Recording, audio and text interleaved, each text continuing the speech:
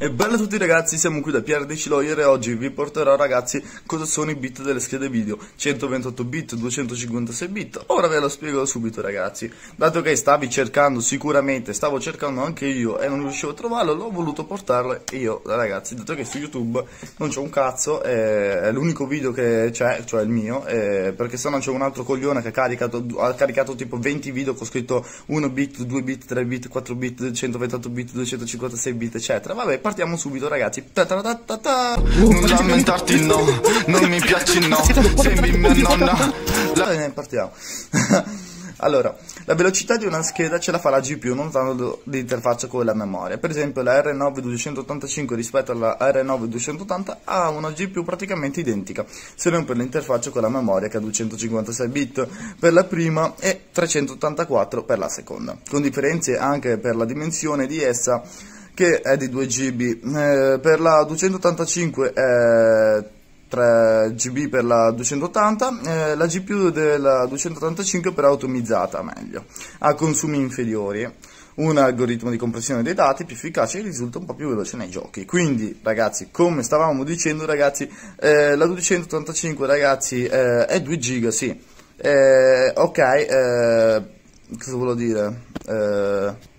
Sì, è 2 giga però va meglio ragazzi, insomma, ma perché... Eh... Allora, Cristo Signore Santo. Allora, la prima è 2 giga, ok ragazzi? Bene. Però ha un'interfaccia da 256 bit.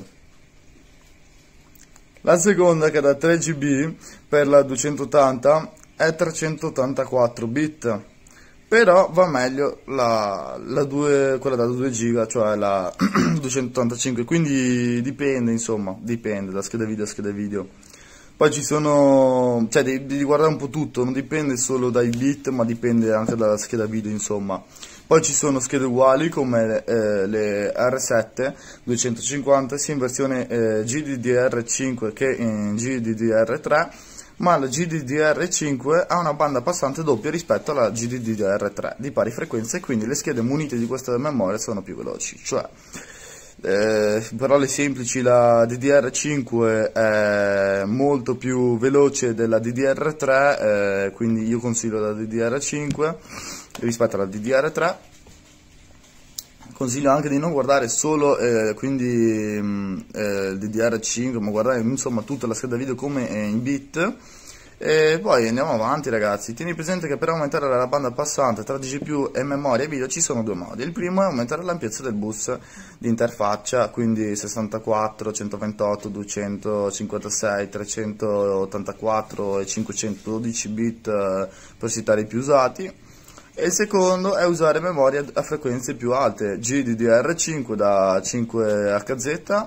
eh, 6 o 7. Comunque in molti casi la scheda col boost di memoria maggiore è quella più, più performante e quindi mm, io consiglio ragazzi di prenderla insomma col DDR più alto insomma tipo DDR5 confronto a un DDR3 e prendere magari al posto di 64 bit prenderla 128 o insomma i bit più alti. Eh, se no dovremmo provare a fare un overclock però non sempre ragazzi va meglio. Cioè se poi non ha problemi lasciatela così com'è ragazzi. Cioè va meglio questo lo dicono comunque gente che comunque sa anche più di me, quindi, cioè, ecco. E cosa volevo dire? Ehm, le versioni di Pixel e Vertex Shad eh, Shader eh, stanno a indicare che tipo di supporto si ha nelle librerie grafiche. Per esempio Pixel Shader eh, 3.0 eh, si riferiva alla DirectX 9.0C, eh, il 4.0 alle DirectX 10 e il 5.0 riferimento alle 11. E Vertex Shader di conseguenza una volta le schede di, si, diver, si, differ, eh, si, differenziavano eh, i pixel e i vertex. Shader nelle specifiche eh, poi con uh, l'avvento delle prime schede DirectX 10 gli shader sono stati unificati e venivano indicati come numero di stream, processore o CUDA core nel caso di Nvidia e, ecco, quindi su questo ambito, invece sull'ambito dei pixel, dovete guardare ehm, il CUDA Core che c'ha. cioè nelle ultime schede video, se adesso ovviamente, cioè penso che vi prendete una scheda video ragazzi di ultima generazione, non vecchia spero. Comunque se vi prendete una scheda video insomma buona ragazzi dovete guardare sia CUDA Core per comunque il tutto. Vabbè ragazzi guardate le, le, ultime ragazzi sono le migliori, quello è ovvio, però se dovete guardare dipende cosa ci dovete fare anche.